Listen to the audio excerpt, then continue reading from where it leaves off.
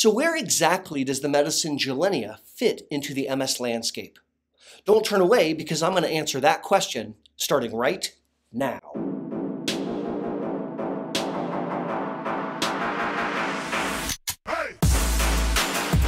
Howdy! Thanks for learning about MS with me, Aaron Boster. A few months back, I made a YouTube video entitled Making an Informed Decision a guide to MS treatment styles. Now, if you missed that video, don't sweat it. I'll throw a card right here so you can check it out later. In a quick nutshell, that video discussed various treatment styles that MS neurologists apply when using the MS medicines to treat patients. Now, when I say treatment style, I don't mean, are you a snappy dresser? I mean the order that the doctor uses the medicines. And as I discussed in that video, there are a lot of different treatment styles. The most commonly used style throughout the world is one called the escalation model. And today, I was asked a provocative question about the escalation model by a viewer named Vlad. So Vlad writes, Hi, Aaron. Well, howdy, Vlad. Would you possibly give a small clarification on how to understand different styles of MS treatment? Yes. Would fingolimod as a first DMT be an example of the escalation style? And if not, then what other style would it be? Well, Vlad, that's a super question. Thank you so much for watching the video and asking this question. So here comes an answer. Let's jump in. By way of review, let's discuss the escalation model for a second. The escalation style works like this. I start you off on a medicine which is low efficacy, but it's also very, very safe, and then we see how things go.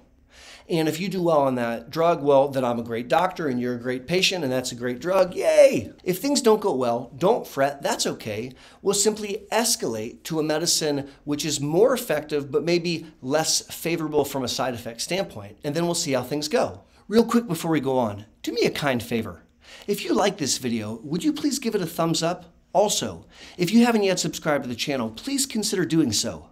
Those two actions are completely free, and they teach the YouTube algorithm that you dig this content and help push it out so more people impacted by MS can benefit.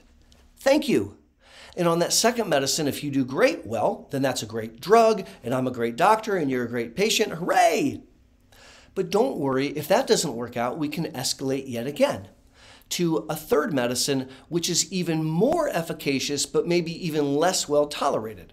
This is the escalation model, and the intention is to perfectly balance the risk benefit. And I think it's bunk. I really dislike it quite a bit. And I made a lot of different videos where I share why I dislike the escalation model. And it's my opinion all too often with the use of the escalation model, patients end up on lower efficacy medicines and having disease activity and developing disability. So I personally don't adhere to it. But that was not the question asked. Vlad asked, hey, if you start someone on Gilenya, is that using the escalation model? And the answer is probably. So the most traditional way of thinking about the escalation model is to start with the lowest efficacy medicine. So that might be like a shot, like Copaxone or Avonex. And then if the person had breakthrough disease on that shot, escalating to a pill, maybe like Gilenya.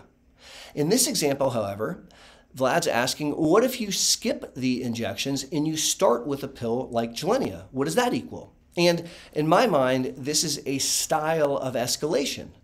You're starting not on the lowest tier of medicine, but a medium tier of medicine. Now, if you put the person on a medium tier of medicine, like Gilenya, and everything's dandy like candy, great! Then you're a good doctor and they're a good patient and that's a great drug, hooray! But if things don't work out, then we will escalate past onto something that works better, presumably a monoclonal antibody like natalizumab or ocrelizumab or alemtuzumab or something like that. In, in this example, we certainly can consider starting fingolimod, Gilenya, as the entry to an escalation model. And you might ask the question, well, is that something that I do in my practice? And my answer is not often. I really do think Gilenya is a lovely medicine, particularly as it relates to decreasing relapses and decreasing new MRI lesions, but it leaves a little bit to be desired, in my opinion, as it relates to slowing disability progression. As a result, I am not inclined to start patients on S1P1 receptors like Gilenya because I'm looking for a drug that has better efficacy related to progression. As a result, I don't use the escalation model and I don't start with Gilenya. I would rather start with a more efficacious monoclonal antibody. Now, does that make me right? No, it just makes me really, really opinionated. But I'm delighted to be able to share that opinion with you, and I'm delighted to answer Vlad's question. The most impactful way that you could support this channel is by watching another video. So if you'd like to up your game and learn more about MS, definitely click the video that's on your screen right now. Until my next Monday morning video or until my next monthly live stream, this is Aaron Boster saying be safe and take care.